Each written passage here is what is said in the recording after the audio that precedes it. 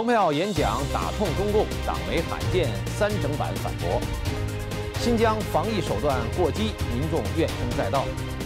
中国白领经历至暗时刻，中共却称岁月静好。观众朋友好，欢迎收看《中国新闻》。美国总统川普八月二十三号接受福克斯新闻采访，被问到中共武力侵犯台湾的时候，他表示，北京知道他会怎么做。川普当天接受福克斯新闻节目主持人希尔顿的专访，希尔顿问道：“如果中共试图侵略台湾，或者是实质掌控台湾及其重要的产业，美国会如何的应对？”川普回答说：“我认为在这里谈论这件事并不适合，我不想说我要做什么或不做什么，在这里谈论这件事情是不适合的。这是一个非常大的主题，但我认为中共知道我会做什么。”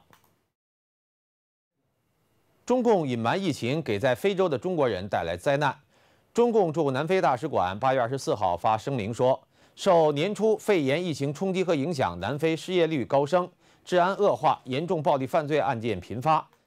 五十多天来，先后有七名中国公民遇害，其中包括当地的侨领仲志伟夫妇。但当地华人对自由亚洲电台表示，受害人数远超中共官方公布的数字，差不多每四天就有一名华人遇害。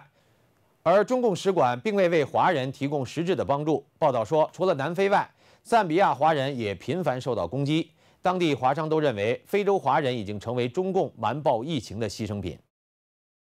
中共禁止少数民族使用本民族语言教学。从九月一号新学期开始，在六个省的民族地区推行汉语教学。网上流传的一份内蒙古教育厅通知显示。按照中共中央统一部署，内蒙古、甘肃、吉林、辽宁、青海、四川等六省的民族地区将从今年的秋季开始，在语文、政治、历史三个科目中使用中共统编的教材。而内蒙古作为模范自治区，将从小学一年级和初中一年级首先开始使用国家通用语言的文字授课。自由亚洲电台报道说，蒙古人反感中共的做法，发起抵制活动。甚至有人说，他们选择拒绝送孩子去上学。有家长组成微信群讨论，但被公安封群抓人。旅居德国的南蒙古议会主席席海明表示，中共政府此举明显是要对蒙古民族实行文化灭绝政策。他呼吁国际社会不要坐视一个民族古老的文化被消亡。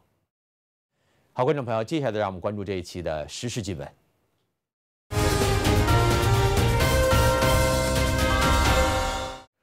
美国国务卿蓬佩奥七月二十三号发表对华政策演讲，呼吁全球联手战胜中共，守护自由。时隔一个月之后，中共党媒《人民日报》八月二十五号大篇幅的刊登文章，批评蓬佩奥。评论认为，中共针对蓬佩奥发动舆论攻击的主要目的，还是为了给中国人洗脑。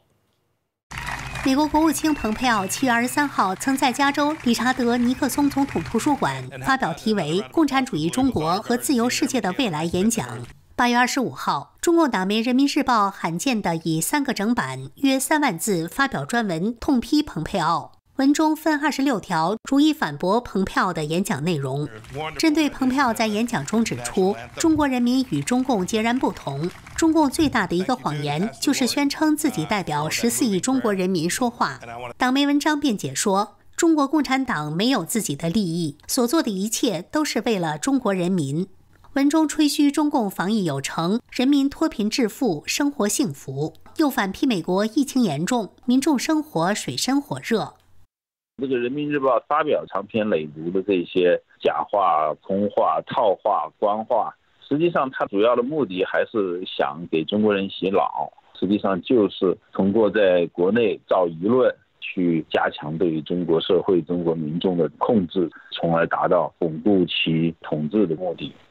针对蓬佩奥批评中共监控十四亿中国国民、打压民众自由，文章百般抵赖，并转移焦点，大篇幅抹黑美国的自由民主。我还特别留意到，在对蓬佩奥的攻击当中，使用了一些非常粗俗的语言，所谓“四大罪突破了人类底线”这样的说法，已经是非常文革化的语言。这说明了什么呢？说明蓬佩奥确实是把中共打痛了。中国学者戈壁东表示，中共对蓬佩奥的攻击早在去年就开始了。现在越来越疯狂，是因为蓬佩奥的行动已经引起中共极大的恐慌和焦虑。西点军校出身的蓬佩奥，可能是美国历史上最务实的、执行力最强的国务卿。你看他做的每一招，招招招呼在中共的七寸之上。他在尼克森图书馆的铁幕宣言，他去欧洲，从根本上就把中共的根给挖起来了。中共最害怕的就是这一招。蓬佩奥在做的就是彻底终结中共的合法性。他所做的每一个措施，都是实实在在的在打击着中共，招招致命。回顾今年整个七月。围绕对华主题，川普政府安排了多位重量级官员发言，批评中共的意识形态和全球野心。随后，中共外交部长王毅、中共外事办主任杨洁篪、外交部副部长郁玉成、中共驻美大使崔天凯等人一改战狼外交的姿态，纷纷向美国求饶。联邦的这些官员，包括像庞佩奥这样子的官员，他非常清楚中共的情况，他把中共和中国分得很清楚。他的惩罚的对象非常的清楚，就是惩罚中共。所以说，在这种情况之下呢，中共开始害怕了。你看，过去的个把两个月，中共呢开始向美国示软，希望呢修复关系。示软了这么一段时间以后呢，他蒙骗不了联邦政府里面像川普啊、蓬佩奥这种头脑非常清醒的政治家。所以现在他又开始出动舆论工具。戈壁东则说：“现在中共的末日恐慌感越来越强，四处给自己找出路。最近黄毅又去了欧洲，说明中共非常清楚蓬佩奥现在在做什么。他想突破这个包围圈，他想最后能找到一条生路。他可能不怕美国的航母在南海，他可能更怕的是国际社会在美国的引领之下，看清中共病毒的来源。”背后隐藏的危害世界的巨大阴谋，最怕因此引起国际社会的正义诉求。中共听到了末日的钟声，而蓬佩奥正是这个敲钟的人。上周，蓬佩奥在结束了对中东欧四国的访问后，在推特发文表示，美国人认识到中共与中国人民完全不同，并威胁到他们的价值观和生活方式。世界的潮流已经改变了，西方正在战胜中共。新疆乌鲁木齐因为疫情封城，至今已经有一个多月了。严厉的封禁让许多居民的忍耐力达到了极限，甚至出现武汉疫情严峻时小区民众呐喊的一幕。在大量民众的抱怨之下，周一乌鲁木齐部分放宽了防控政策。八月二十三号，有网友发视频表示，新疆居民在家隔离一个多月，出行不便，纷纷开窗疯狂呐喊发泄。这一幕如同武汉市在中共肺炎疫情大爆发时的重现。新疆从七月十五号爆发新一轮疫情，到八月二十三号，官方声称累计报告了超过八百个确诊病例，绝大多数病例在首府乌鲁木齐。但当局采取了空前严厉的防疫措施。乌鲁木齐在十七号宣布封城，随后封锁扩展到全新疆。乌鲁木齐等多个城市的住宅小区采取完全封闭式的管理。微博上流传的图片显示，很多住户的家门被贴上封条、胶带钉住或插上钢筋，完全禁止出入。如果有民众离开社区，还会被锁上手铐等候发落。还有民众透露，小区以重刑恐吓居民。违反禁足规定的人会被送到隔离点，先做二十一天自费隔离，之后被直接送往看守所十五天。连日来，不断有网友在微博的乌鲁木齐超话里讲述严厉封城造成的不便。例如，有人因父亲病危赶回乌鲁木齐，但落地后一直被隔离，不被批准去见父亲。二十五天后，父亲去世，他仍在等候社区审批。还有网友表示，即便是紧急情况。例如，孕妇身体不适也被拒绝转院治疗；小孩被玻璃弹珠卡住嗓子，也无法及时送急诊。更有人透露，室友被困在租屋里一个月，抑郁跳楼身亡。那个地方一定是现在中国内地在发生疫情管控方面的话最极致的一个地区，因为它本身那管理模式就是那样，它是一个共产党称为的反恐地带。是各种严刑峻法实施的地方，而且你在疫情方面表现的这个瞬间就可以给你升级成为政法方面的处理处理的对象，就是雷霆之势嘛。由于帖子太多，还有一些人跑到北京超话、上海超话去讲述新疆的痛苦。这种大规规模的封禁呢，你还需要有强大的呃后勤支援才行。而中国的这种官僚体制，它是无法保障这种后勤支援，这种武断的一刀切的方式，最后必然造成对人们的身心各个方面的伤害。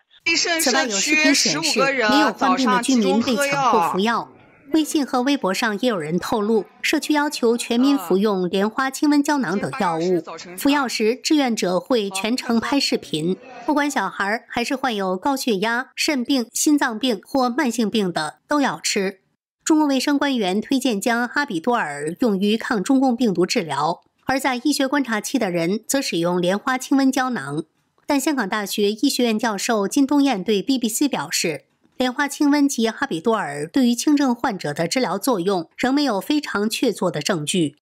虽然新疆严厉的封禁手段在社交媒体上遭遇了网友的反弹，但在主要党媒上几乎不见报道。当局随后大量删除乌鲁木齐超话中的内容，并就民众呐喊的视频发通知说，这类行为属于非法。经技术侦查，已经约谈了相关人员，并进行处罚。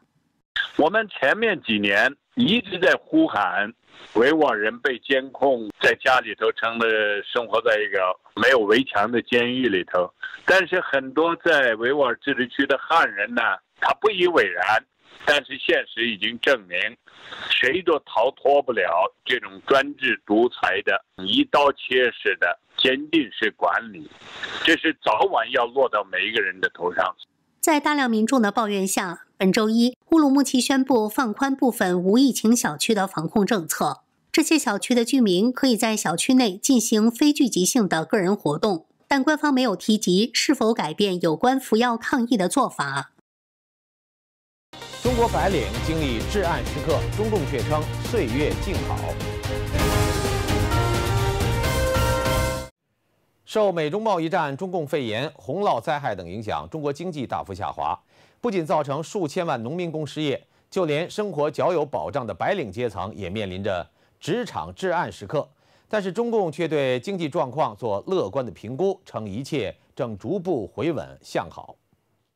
就中共肺炎对中国经济的影响，人们大多聚焦在疫情对中小企的冲击，以及对广大农民工群众的影响。西安交通大学公共政策与管理学院车磊在七月份发表的一项调查农民工的研究中指出，截至今年三月下旬，至少有三千万到五千万农民工失业，而实际数字更可能高达七千万到八千万。现在受这波经济下滑影响的中国民众，已从农民工延伸到属于社会中间的白领阶层。中国招聘网站智联招聘六月初发布《二零二零年白领生活调研报告》显示，自中共肺炎爆发以来，大多数白领似乎都经历了一些职场至暗时刻，有高达三成白领被裁员，另有三成的白领被削减工资，还有一些白领无法按时领取工资或被迫放无薪假。总体上，只有两成的白领得以幸免。报告还说，年长白领在这波至暗时刻工作机会变少，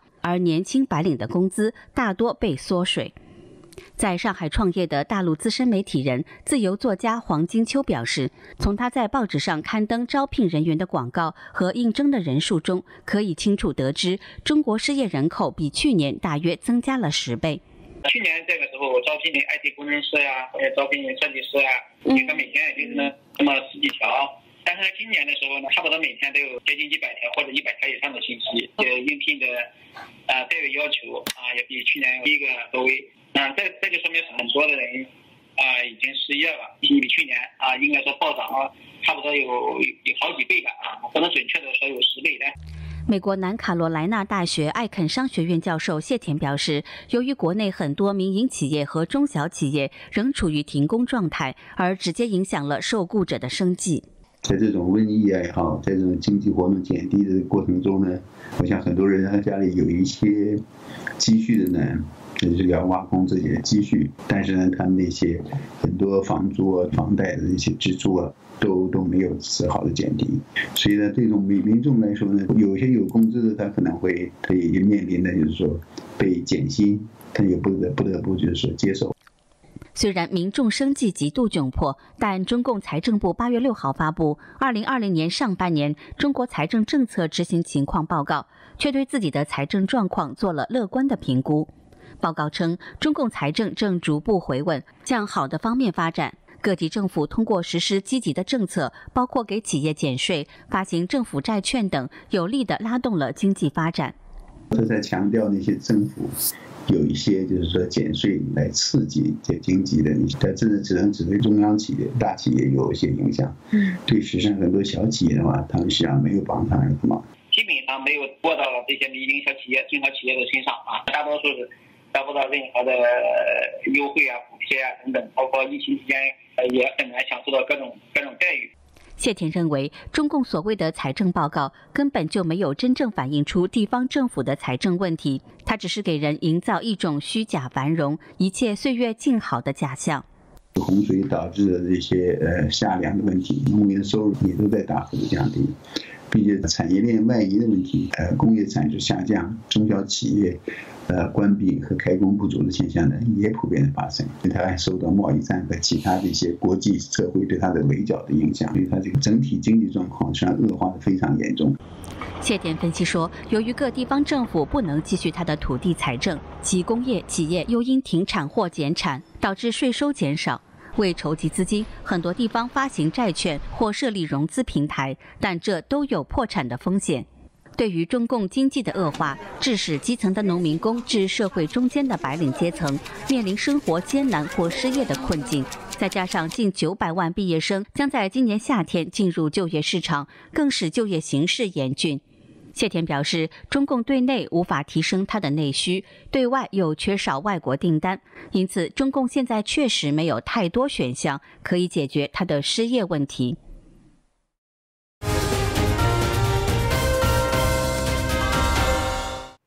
好，观众朋友，接下来让我们关注一下中国大陆各地民众维权的情况。大陆六四天网创办人黄琦的母亲蒲文清因奔走营救儿子，一直被当局软禁。日前，他向朋友诉说自己的病情加重，除了肺癌，又出现了糖尿病并发症，但医保卡上的钱早已用光了，没钱看病了。他只想跟在监狱的黄琦见一面，但是当局一直不允许。八月二十五号是中国所谓的残疾预防日。河南辉县疫苗受害儿童家长何方梅致信北京市河南省残疾人联合会，要求公开二零一七年至二零二零年有关残疾人的信息，包括出生缺陷人数、疫苗致残致死人数、意外致伤致死人数、康复救助人数、康复治愈人数、康复无治愈人数、后期救助无治愈人生存保障人数等。大陆著名人权律师余文生被中共秘密关押期间遭受酷刑，导致右手丧失部分功能，不能写字。八月二十四号，他的妻子许燕在网呼吁江苏高院放余文生回家治疗，以保住右手。湖南株洲公民陈小平因做六四手势自拍纪念六四大屠杀三十一周年，八月十四号被当地警方行政拘留，二十三号期满出狱。多位株洲人士前往拘留所迎接，但陈小平被警察接走，直接拉回派出所再做笔录。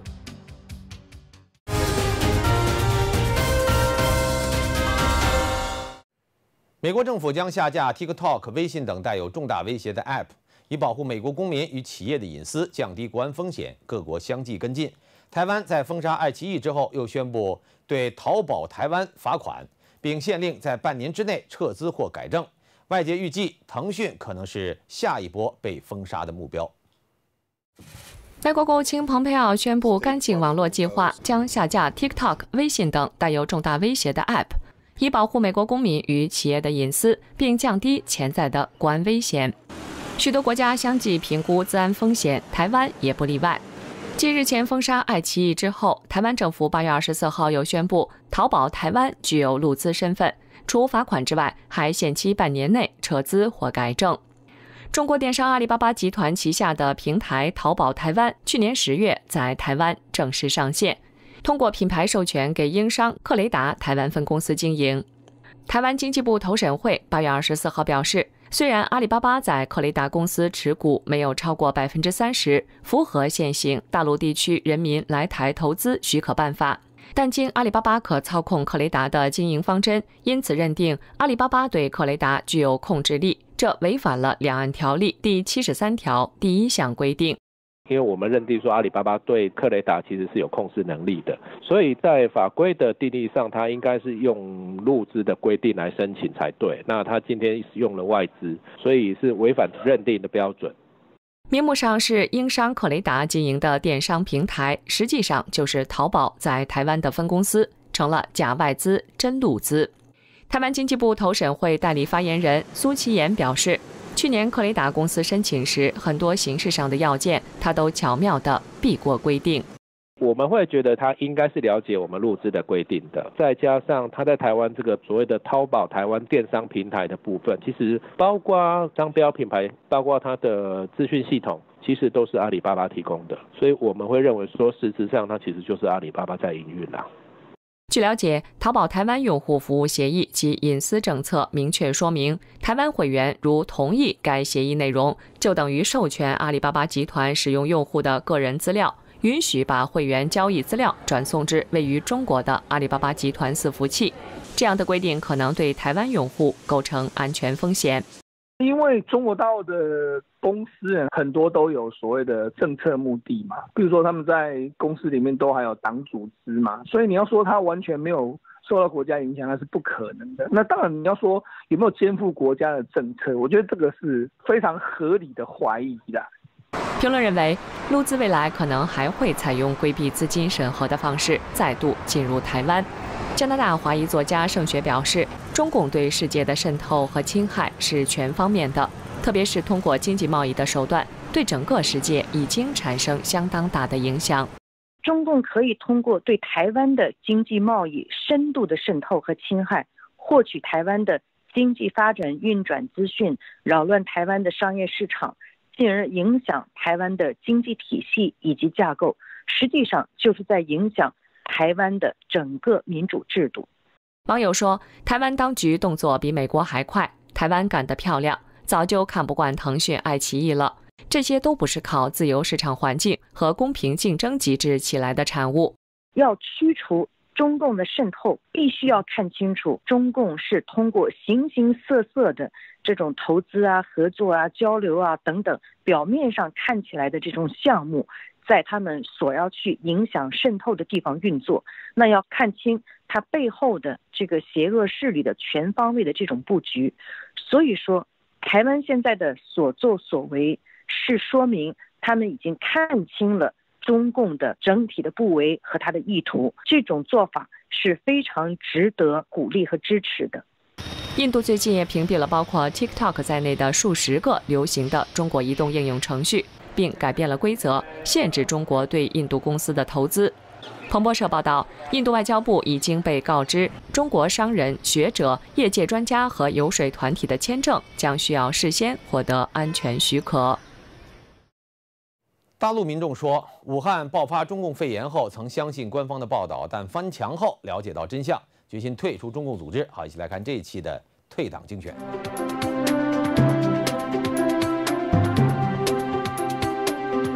大陆的秦静义说：“自从这次肺炎疫情爆发以来，我也曾一直关注所谓的官方报道，但翻墙之后，却看到了另一个不同的情况。随着对真实情况的了解，包括真实的历史、真实的香港情况和匪党的本质，深刻认识到了之前盲目信任的匪党是如此的邪恶，不顾群众的死活，随意打压老百姓。对此邪党痛恨至极。我曾经无知，加入过中共的党团队。”我现在声明退出与中共所有的相关的一切组织，在此做三退声明：天灭中共，光复世界。王小川说：“我是近几年新加入的共产党员，我见识党内的腐败黑暗，通过武汉肺炎一事，更加认清了共产党的邪恶本质。我曾经加入过与中共相关的党团队，我现在声明退出与中共有关的一切组织。”好，观众朋友，我们这一期的中国纪闻就到这里了，感谢各位的收看，我们下次节目时间再会。